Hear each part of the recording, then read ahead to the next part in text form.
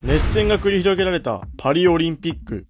連日、新たなメダリストが誕生し、日本中が歓喜に沸いた中、今大会最も話題を集めたのが、審判問題。各競技でレフェリーの質の低さが物議をかまし、サッカー日本代表も疑惑のオフサイド判定に泣き、何も言えねえ感情が大爆発。そこでスタッフはこのモヤモヤを晴らすべく、オフサイドもなければファールもない。よって審判も批判を浴びることがない。お互いウィンウィンの神モード、ノールールモードを使用し、再びパリオリンピックを開催すれば、今度こそ平和な大会になるのではないか。そう思い、FC24 を使い検証することに。しかし、グループから全試合開催するか、決勝トーナメントから開催するか、はたまたスペイン戦から日本代表の試合だけを再び開催するか、迷いに迷ったスタッフは厳選なルーレットの結果、日本代表の試合だけを再び開催することに。というわけで、早速金メダルを獲得したスペイン戦からリスタート。果たして大岩ジャパンは宿敵スペインにリベンジできるのか？ホイッスルで試合開始ですすると序盤は大岩ジャパン屈指のドリブラー三戸が何かと削られ流れをつかめずそれでも30分キャプテンジョエルが先陣を切りルール内で相手を削ると41分にはこの位置で相手をロックオンした大畑がダビド・ガルシア。必要に追いかけ豪快に削り金メダリストと互角にやり合い前半が終了。エンド変わるとギアを上げる無敵艦隊に対しドリブルで前に運び足を狙ったクリーンなディフェンスで対応するもなりそうですシュートを狙う。ゴール。流れは変わらず。それでも74分細谷がうまく相手をかわし大岩ジャパンにチャンスが。パスが通った。見事なブロックです。しかしシュートを打たせてもらえず。すると一転スペインがカウンター発動。そして裏までしっかり見えています。これは。失点。うまく相手に抜け出されるとさすがの守護神国母もこれはノーチャンス残り10分でリードを許してしまった大岩ジャパン。しかし。かもしれません。同点に追いつけるか。高い位置からのクロス。このボールは止めただけ。なんか追いついた。わちゃわちゃってしてるところを細谷がさーっと流し込み試合が振り出しに戻ったところで90分が終了。勝負の行方は延長戦へ。しかし延長戦の見せ場は高いのこの鬼ロングフィードのみ決着は PK 戦へ。先行はスペイン。最初のキッカーが PK を行います。ここは成功。高校大岩ジャパン。1人目は山田。しかしスタッフが右足で蹴らしてしまう痛恨のミス。後を国母に託すも。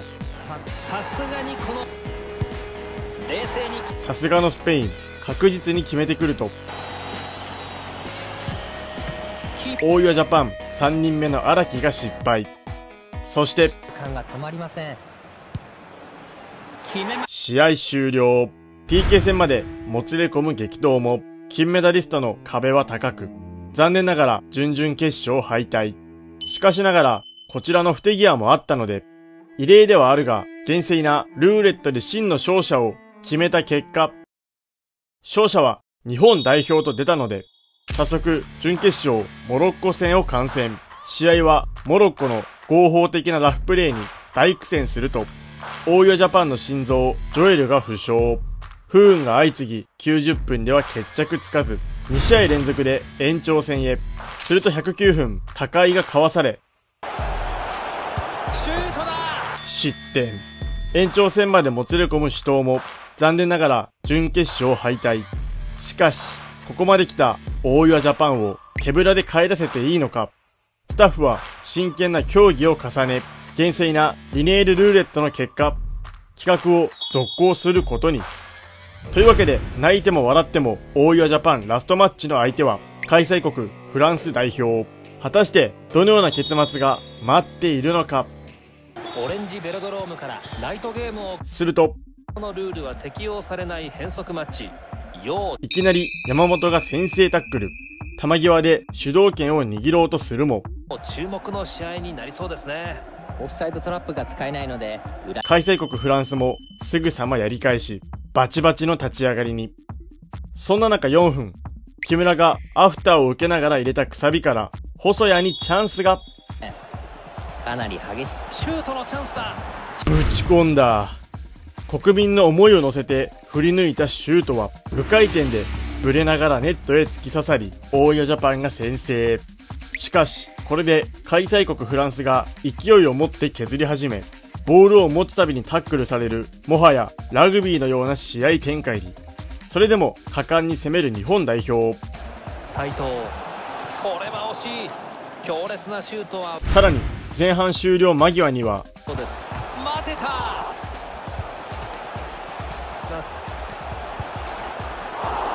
きましたがここはプレーを切りたい国母がえぐい国防を披露し、ヒヤヒヤしながらも大岩ジャパン1点リードで前半終了。エンド変わった52分、大岩監督は荒木を投入。すると、この荒木が、立て続けに2人を借り、顔に似合わずガツガツしたプレーにギャップ萌え。したのに、か相手陣内でインターセプト同点ゴールなるか57分失点。いくらオフサイドがないといえど、同行したゴールで試合は振り出しに。これで開催国の勢いを取り戻したフランス代表に、防戦一方の大岩ジャパン。しかし、迎えたアディショナルタイム、山田がこの位置でボールを奪い、あの右足で細谷へクロス、キープしますさあチャンスとなるかシュートは入るかぶち込んだ。待っていたのは劇的な結末。スタッフのミスも救われる超気持ちいい決勝弾で開催国フランス代表撃破。ハッピーエンドとなり、大岩ジャパンのラストマッチが終了。というわけで検証結果、何かと便利な公平なルーレットでした。